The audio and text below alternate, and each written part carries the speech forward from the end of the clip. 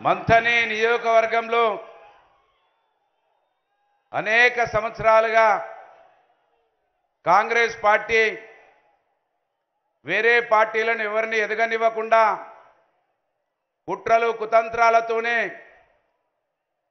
తమ పబ్బం గడుపుకొని ఎదిగినోళ్ళను ఎదిగినట్టుగా నాలాంటి వారిని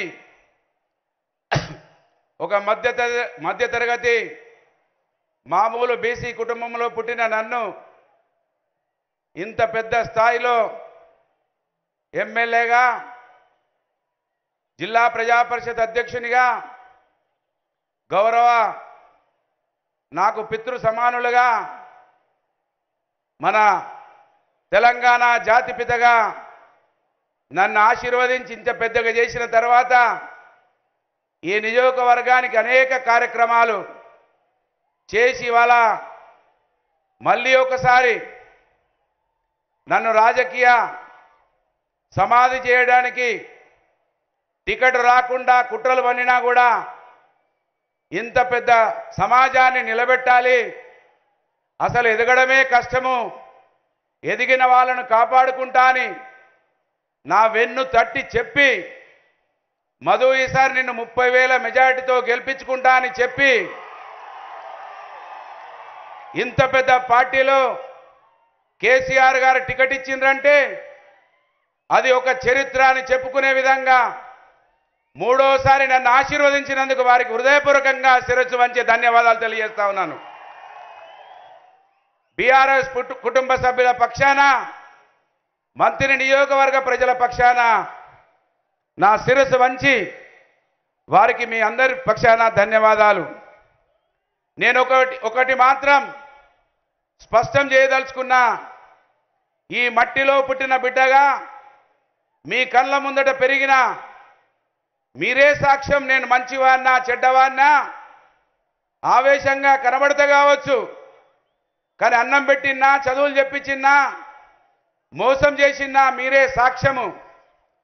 మళ్ళీ ఒకసారి చెప్తున్నా ఇవాళ నేను ఈ తల్లి గోదావరి సాక్షిగా ప్రనా ప్రమాణం చేసి చెప్తున్నా ఈ మట్టిలోనే పుట్టిన మట్టిలోనే పెరిగిన మట్టిలోనే మీకు సేవలు చేస్తా ఇక్కడనే ఉంటా ఇవాళ ఇక్కడనే ఉంటా రేపు ఇక్కడనే ఉంటా ఈ మట్టిలోనే కలుస్తా అని ఇవాళ మీ ముందర శపథం చేస్తా ఉన్నాను. అంతేకాకుండా ఈ నియోజకవర్గానికి అనేక సంవత్సరాలుగా చీకటిలో మగ్గిపోయినటువంటి మారుమూల గ్రామాల ప్రజలకి అనేక గ్రామాల ప్రజలకి రెండు సార్లు పెద్ద ఎత్తున వర్షాలు కురిస్తే కేసీ కేసీఆర్ గారి ఆశీర్వాదంతో ఎంత గొప్ప ముఖ్యమంత్రి అంటే నన్ను సొంతగా పిలుచుకొని మధు ఏం కావాలని అడిగితే సార్ నాకు ఒక్కటి ఇప్పటి వరకు రింగ్ రోడ్డు మీద బ్రిడ్జిలు అవుతున్నాయి రోడ్ అవుతున్నది అవన్నీ జరుగుతున్నాయి కానీ డెబ్బై సంవత్సరాలలో కూడా ఈ నియోజకవర్గంలో అనే గ్రామం ఆ గ్రామానికి ఏ ఎమ్మెల్యే కూడా పోలేదు సార్. ఆ గ్రామానికి రోడ్డు కావాలంటే ఇరవై ఐదు కోట్ల రూపాయలు ఇచ్చి ఇవాళ మోదేడు లాంటి గ్రామానికి రోడ్డు కనెక్టివిటీ చేసిన చరిత్ర మీ బిడ్డగా నాకే దక్కింది. అంతేకాకుండా Odedu bridge Khammampalli bridge ring road మీద అనేక బిడ్చులు. పెద్దంపేట దగ్గరనైతే పెద్దంపేట ప్రజలు మాదేపూర్కు రావాలంటే ఆడబిడ్డలు నిండు కడుపుతోటి ఆ పెద్దంపేట వాగు పొంగితే ఆ వాగు దాటలేక అక్కడనే ప్రసిద్ధైతే ఆ ప్రసిద్ధైన ఆడబిడ్డలకు ఆ పిల్లవో పిల్లగాడో పుట్టినప్పుడు ఆ పేగు తెంచాలి పేగు కట్ చేయాలి. ఆ కట్ చేయడానికి కత్తెర లేకపోతే రెండు బండలు పెట్టి పేగులు కట్ చేసుకున్న చరిత్ర ఈ మంతినిలో కాంగ్రెస్ దుస్థిత పాలన వలన ఈ నియోజకవర్గ ప్రజలు చూసిరన్న విషయాన్ని గుర్తు చేస్తా ఉన్నాను. అనేక గ్రామాలకు కనెక్టివిటీలు పెంచి ముఖ్యమంత్రి గారు మొన్న వర్షాలు వచ్చినప్పుడు వారే కాకుండా సోమేష్ గారు సిఎస్గా ఉన్నప్పుడు వారు కూడా సార్ మాట్లాడమన్నాడు ఏమైనా ఇబ్బంది ఉందంటే సార్ మా ప్రాంతంలో ఒక్క గ్రామం కూడా బిడ్జులు లేకుండా రోడ్లు లేకుండా లేదు. కొంచెం నీళ్ళు వస్తూ ఉన్నాయి. గడ్డల మీదకు పోయి ఉన్నారు. ప్రమాదం లేదని చెప్పడానికి కారణం గౌరవ ముఖ్యమంత్రి గారు ఆశీస్సులతో ఇవన్నీ కూడా చేసిన విషయాన్ని ఈ సందర్భంగా మీకు గుర్తు చేస్తా ఉన్నాను. ఇంకా ఆగిపోయినటువంటి చిన్న కాళేశ్వరం మొబిలైజేషన్ అడ్వాన్సులతోటి ఫారెస్ట్ క్లియరెన్స్ లేకుండా పైపులను తీసుకొచ్చి రోడ్ల మీద పెట్టిండ్రు జేబులు నింపుకున్నారు. నా విజ్ఞప్తితోటి ఇప్పటికే ఫారెస్టులు క్లియరెన్సులు ఎన్విరాన్మెంటల్ క్లియరెన్సులు తీసుకొచ్చి ఉన్నాయి. కొంచెం ఫైనాన్స్లో ఆగున్న ఫైలు దాన్ని పూర్తి చేయాలని మీ పక్షాన ముఖ్యమంత్రి గారిని కోరుతా ఉన్నాను. మంతని మండలంలో పోతారని లిఫ్ట్ అడిగిన సార్ దగ్గర అది అది కూడా క్లియర్ అయి ఫైనాన్స్లో ఆగి ఉన్నది. దాన్ని కూడా క్లియర్ చేయాలని కోరుతా ఉన్నాను. ఆరెంద దగ్గర మంతని భూపాలపల్లి వెళ్ళాలంటే ఇప్పుడు ఇటొక్కటే పిడిచి ఉన్నది. కనుక మాకు ఆరెంద దగ్గర ఒక పిడిచి అయితే కాళేశ్వరం కూడా సులువుగా వెళ్ళడానికి ఆరెంద దగ్గర కూడా ఒక హై లెవెల్ పిడిచి అడుగుతా ఉన్నాడు ముఖ్యమంత్రి గారిని. మాకు ఇక్కడ గిరిజనులు ఎక్కువ ఉన్నారు. మాకు గిరిజనులు ఎక్కువ ఉన్నారు. ఇక్కడ మాడ అని ఒకదాన్ని పెట్టిండ్రు. ఆ మాడ పనిచేస్తలేదు మా గిరిజనులు చాలా ఇబ్బంది పడతా ఉన్నారు. ఇవాళ మాడాలో ఉన్నామా? ఐటీడీఏలో ఉన్నామా? ఎక్కడున్నామా తెలుస్తలేదు. కనుక మా మాదేపూర్లో ఒక ఐటీడీఏ పెట్టమని మీ పక్షాన ముఖ్యమంత్రి గారిని కోరుతా ఉన్నాను.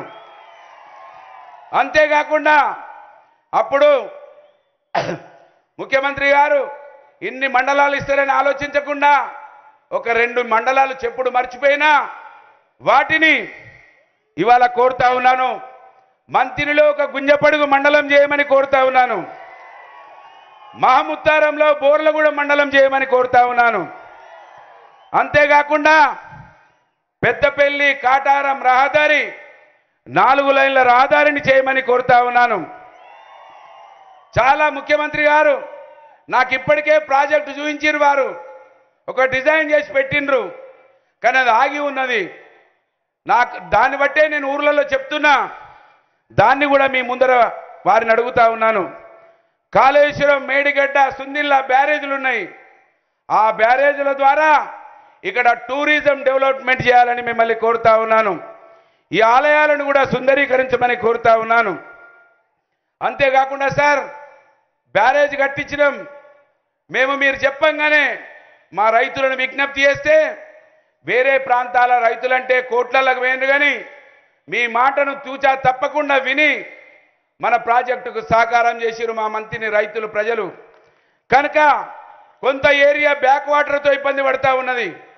కొంత ఏరియా మానేరు ప్రాంతమంతా పెద్ద ఎత్తున వరద వస్తే భూములు మొత్తం కొట్టుకపోతా ఉన్నాయి. కనుక మీకు సిరుసు వంచి విజ్ఞప్తి చేస్తున్నా వాటిని రక్షించి కరకట్టల ద్వారా రక్షించాలని మిమ్మల్ని విజ్ఞప్తి చేస్తా ఉన్నాను. నాకు మంతని ప్రసిద్ధిగాంచిన ప్రాంతం ఇక్కడ విద్య ఎప్పటి నుంచో ఉన్నది. ఆ విద్య కాంగ్రెస్ హయాంలో ఒక డిగ్రీ కాలేజ్ రావాలంటే అమరణ నిరాహార దీక్షలైనాయి కానీ ఇవాళ మిమ్మల్ని కోరుతున్నా సార్ నాకు మంతిల్లో మాదేపూర్లో రెండు పీజీ కాలేజీలు ఇవ్వాలని మిమ్మల్ని కోరుతా ఉన్నాను. ఇవన్నీ కూడా మీరు సానుకూలంగా స్పందించి ఇవాళ ఒక్కనిగా పోరాటం చేస్తున్నా నేను అన్నం పెట్టిన చరిత్ర ఉంది సార్. పెళ్ళిళ్ళు చేసిన చదువులు చెప్పించిన అంబులెన్సులు పెట్టిన పిల్లలకు మధ్యాహ్నం పూట భోజనాలు పెట్టినా ఇవి చర్చించబడకుండా నా మీద ఏదో ఒక అబద్ధం పుట్టించుడు సోషల్ మీడియాలో పెట్టుడు కొన్ని మీడియా సంస్థలను వాడుకునుడు నా మీద అనేక రకాల దుష్ప్రచారం కాంగ్రెస్ పార్టీ చేస్తా ఉన్నది సార్. కనుక ఇవాళ ఇంకా కాంగ్రెస్ పార్టీ ఆలులో సూలు లేదు అన్న తమ్ములు ఇద్దరు కలిసి రాత్రి రాత్రి నోట్ల సంచులు పట్టుకొని నిన్నటి వరకు ఎవరైనా పనికి పోతే నా దగ్గర ఏమున్నది? నా ప్రభుత్వం ఉన్నది అన్నాడు. ఇవాళ ఏదైనా సాయం అడిగితే నేనేమి చేయలేనన్నారు. ఇవాళ ఓట్లు వచ్చేసరికి మన మీద మాట్లాడుతున్నారు సార్. మొన్న రాహుల్ గాంధీ ప్రాజెక్టుల మీద మాట్లాడిండు. ఇవాళ రాహుల్ గాంధీని అడుగుతున్నా మీ కాంగ్రెస్ పార్టీ అభ్యర్థులు ఎట్లా నోట్లో సంచులు వచ్చినాయి? మీ గతంలో అవినీతి లేకపోతే ఇవాళ ఇంత పెద్ద డబ్బులు ఎక్కడి వచ్చేటి అని నేను ఇవాళ అడుగుతా ఉన్నాను. కనుక ఇవాళ ప్రజలందరికీ తెలిసిపోయింది సార్ నా ఎంపీటీసీలను నా ఎంపీపీలను పశువులాగా కొంటా ఉన్నారు సార్. లక్షల కోట్లు ఎంపీపీలకు జడ్పీటీసీలకు పెడతా ఉన్నారు సార్. అయినా కూడా నేను అందరిని కోరిన ఎందుకు ఎందుకు ఈ అన్యాయం? నిన్నటి వరకు నాతోటే కలిసి భోజనం చేసిర్రు నాతోటే కలిసి ఉన్నారు. ఏమి ఇబ్బంది అయింది మీకంటే? చెప్పకుండా రాత్రి పన్నెండింటికి ఒక్కటింటికి వాళ్ళ ఇళ్ళలోకి పోయి నోట్లు ఇచ్చి కండువాలు కప్తా ఉన్నారు. కనుక ప్రజలంతా కూడా ఆలోచించాలి. మీ కళ్ళ ముందట నా అన్నం ఉన్నది నా రెండు వందల యాభై పెళ్ళిళ్ళు ఉన్నాయి నా చదువు ఉన్నది కనుక ఆశీర్వదించమని ఈసారి మళ్ళీ ముఖ్యమంత్రిగా మూడోసారి మన కేసీఆర్ గారు కాబోతా ఉన్నారు కనుక ఆయన ప్రభుత్వంలో నేను ఉంటే ఇంకా ఇవన్నీ కూడా సాధించి మీ రుణం తీర్చుకుంటా అని మీకు విజ్ఞప్తి చేస్తూ ఈ అవకాశం ఇచ్చి చరిత్ర సార్ ఇది చరిత్ర ఒక మామూలు మధ్యతరగతి బీసీ బిడ్డగా నాకు మూడోసారి అవకాశం ఇచ్చారు మీరు. కనుక ఆ రుణం మీ ద్వారా వాళ్ళని తీర్చుకోవాలంటే ఆశీర్వదించమని కోరుతూ సెలవు తీసుకుంటా ఉన్నాను. జై తెలంగాణ!